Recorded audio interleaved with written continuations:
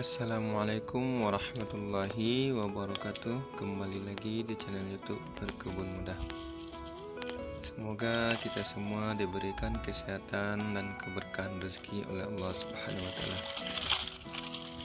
Pada video kali ini kami ingin berbagi bagaimana cara menanam labu kombucha menggunakan media polybag pada hari ini labu kabocha kita telah memasuki usia 90 hari dan siap untuk kita panen.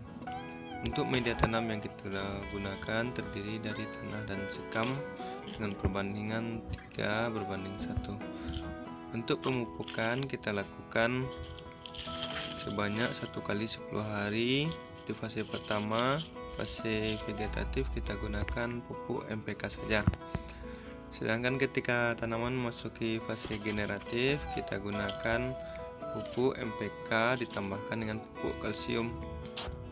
Kita lakukan pemupukan sebanyak satu kali 10 hari.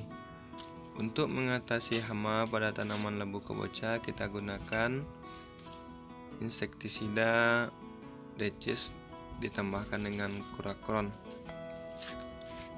Baiklah, kita panen buah labu kepoca kita. Sebenarnya buahnya ada enam buah, akan tetapi telah kita panen tiga buah sebelumnya karena duluan matang buahnya dan tidak sempat kami videokan. Ikuti terus channel YouTube Berkebun Mudah. Terima kasih. Assalamualaikum warahmatullahi wabarakatuh.